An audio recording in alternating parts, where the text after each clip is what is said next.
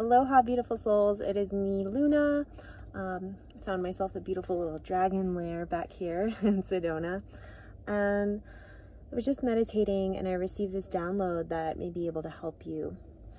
Um, so, as we know, a lot of us have been operating from our minds, right? Trying to navigate this reality from the mind. And we've seen that this doesn't really serve us, um, you know, when we're trying to function from the mind and do things from the ego um, what we're learning is to operate from our heart and let our hearts guide us. So the download that I received was actually to imagine that each of your chakras has its own heart, has its own heart center. Okay, the chakras have chakras. this is what I just received. So in the West, we have our basic seven system chakra system with our root, uh, our sacral, solar plexus, heart, throat, third eye, and crown. And we have a few others in there. We have the sacred heart chakra and um, other systems. We have 12, 13. We have our uh, uh, chakras above us that go to our celestial bodies. And we have our earth star chakra that goes below us and many more. Okay. many more. I believe um, in some other traditions, it's like 108 chakras and and so forth. So anyways, we have many chakras. So whatever chakras you're aware of, we can align our chakras chakra. and it's on and on and on into infinity. So we want to get everything aligned. So we start with the heart. So when you're in meditation and you're imagining clearing your chakras, I like to first connect with my earth star and connect with Mother Earth, imagining I have deep roots anchoring into the core of Mother Gaia and those nutrients coming and filling up my chakras and then coming to the heart, expanding out, and then above receiving the um, celestial downloads from, from the crown and my higher chakras that allow me to operate in the spirit realm. Okay, so as you're doing this, as you're breathing and you're filling up your chakras, just tune into the heartbeat because that is the center, right? The source, the center of each chakra. So put placing your heart in each area of the body. Maybe I'll create a meditation to allow you to do this, but I just wanted to share a little bit of this uh, wisdom with you that just came through, channeled in from this beautiful red rock here in Sedona. I'm just so beyond grateful to live here. You know, I was just um, sending my gratitude out because I was living in Las Vegas before and I had the Red Rock there that I was able to go to. And uh, pretty often I would I would go and just be in the rocks and give my matrix worries and fears to the rocks and she would always take it from me and um, fill me back up. And now I'm able to do that every single day and that is like the greatest gift. The true wealth is really in nature you know, we get caught up in the mind, right? Like, ah, how am I to pay the bills? Da, da, da, and um, we just got to return to nature to remember the true wealth is within us and within nature. And she's always got our back. Everything we need is here. Uh, so we can trust that fully. So, okay, now that I've given you that download, I wanted to see maybe what else was, was coming through from the Galactic Federation because I was just like channeling with them and, and working with them and placing their energetic light grids within the cities and dense areas to help alleviate the fear of the planet, to help uh, remove it and lift it. Um, so I wanted to just tune in and see what comes in. So I'm going to move my camera so I can ground a little bit more because I'm like doing some moves. And then, uh, yeah, let's see what comes through.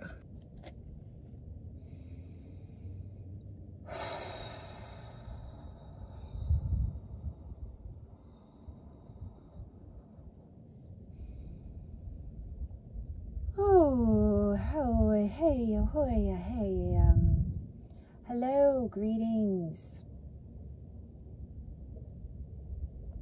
There is information from Mars, the Martians, as so you may see, that would like to come through. Uh, these beings are similar to the red rocks and the red dirt. We have our lineage from this red dirt. This is our particles. So you may see our, our DNA is made of this red, this rooted construct. And so uh, many of the beings that are living on planet Earth are descendants of this planet Mars that you see in your sky. and there is new information coming from this planet and there yes there is there are communities on mars there are multiple tribes and races of beings that utilize mars as a hub for information. So we will be seeing a great shift on mars as well as your planet as they're both affected. As you know a lot of the martian energy can be uh, anger or fear or resentment, and we are removing much of this energy and transmuting it into more passion and vigor and excitement, adventure. This type of energy is being alchemized so that much of the fear and anger and resentment can be removed from your planet as Mars is transforming itself. Yes, this is all very interesting and divine. This is a divine orchestration. And we, coming from the planet Mars, we are a council of Mars that represent this planet. We would like to let you know that uh, all is divinely orchestrated and there is really nothing to fear. We are dissolving this fear and, like we said, transmuting it, alchemizing it, so that it may be more of an energy of passion. Like you care about your planet so much that you are willing to act with grace and love to help transform the energies of fear and anger and resentment. So many of you might feel great sorrow in your. Uh, do not mistake this for weakness, for this is a new aspect of you that is being born. Do not fear the unknown. This is new. We are all new. We are all shifting and becoming new beings. We are being reborn and, and ascending into our light bodies. Yes, we are already in our light bodies, but we are an aspect of you as well, as we are all part of the Great One. Remember that everything is part of each other. So you will see great shifts across your government, across political figures, and the nations. You will see many falling to their knees and weeping. And this is beautiful and divine. You will see them in great sorrow, and you yourself might feel great sorrow for what has been done to your beautiful planet. But fear not, your planet is well. She is thriving, in fact. All you have to do is shift your your consciousness, your mind to perceive it as well, as thriving, as abundant. As you shift your consciousness and your perspective to see that all is well and aligned, then you will come into that place of passion and thriving energy where you will meet with like minds and you will mastermind to create new worlds. Okay, these new worlds truly actually already exist. They're already in form, in formation, in uh, seventh dimension and beyond. So we are bridging our realities, we are bridging our worlds to come together and unify so that we may have a more beautiful experience. But note that all is beautiful. Please do not look at any part of your reality or your experience as dreadful or uh, terrible. In fact, it is all beautiful and divinely orchestrated. And the more you can do that and teach others to do that as well, you will come into alignment with the true beauty and grace that this planet was actually created by. Ah, yes, the divine feminine is rising into her beautiful self and able to feel her exotic beauty on all levels.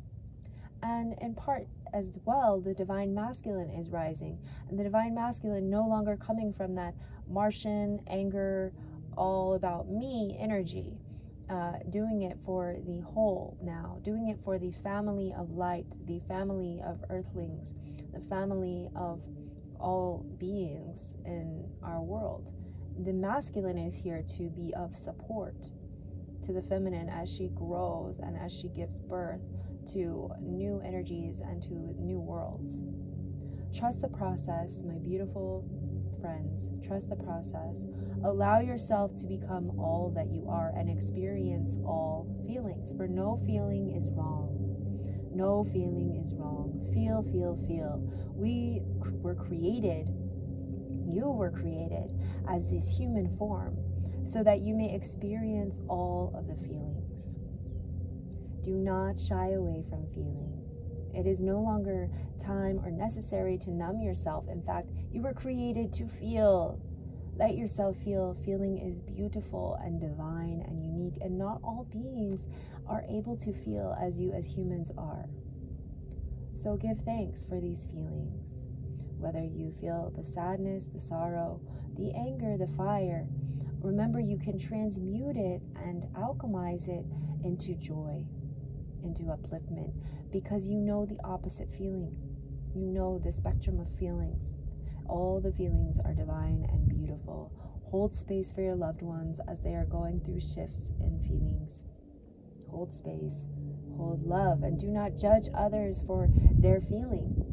Allow them to feel, encourage them to feel all that they feel, and let them awaken to their own joy and bliss in their own time.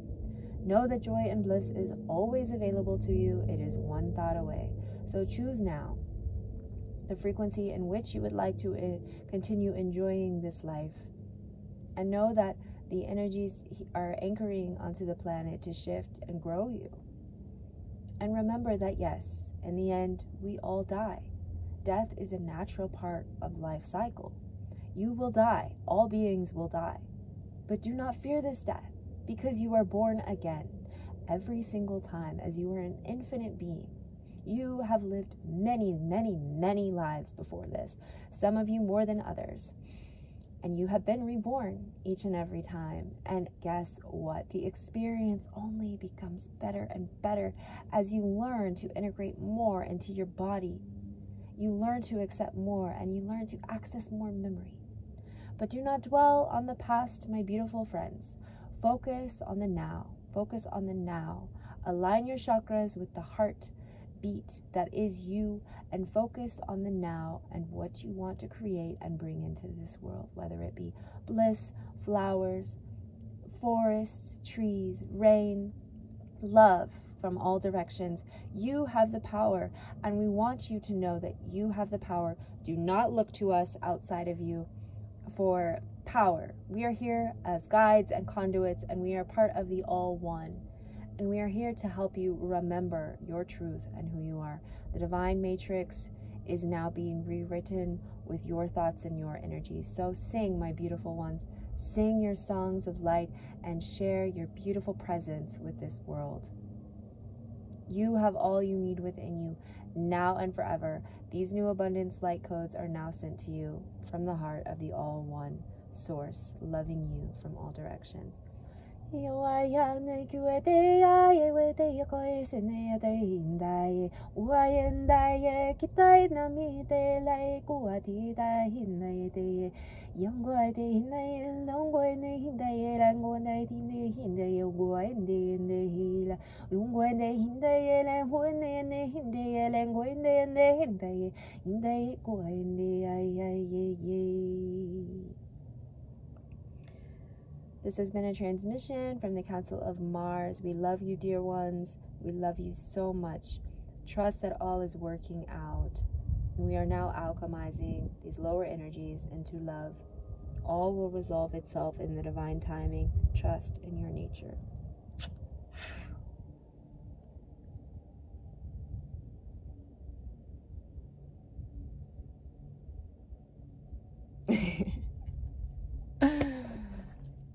oh, that was cool.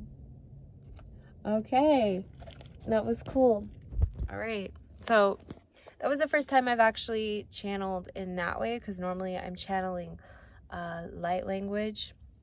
And, you know, I receive messages like this and I will interpret them. I'm like, oh, I just got this download, you know, but I just kind of allowed them to speak through me, um, which of course, like some of my own vocabulary was mixed in there, you know, with how I would say it but I really let myself go and I just let the voice speak and that's what was transmitted. So anyway, I hope you enjoyed that transmission. I'm really looking forward to making this a regular thing and sharing from the Galactic Federation uh, with you because that is what I feel I've been divinely guided to do. Look at these little fairy holes in the cave. Aren't they sweet? The Martian energy. Oh my god, and there's a little ant falling on my phone. All right, well, I love you all so much. And um, yeah, let me know if you have any questions or if you would like to book a one on one channeling with me. I am available for that as well as sound healing and one on one coaching and I have a couple new offers. I have a free abundance blueprint activation that is available. Um, check it out, as well as my new Goddess Alchemy course, and so much more amazing things coming to you soon. So, namaste, my beautiful people. Mwah.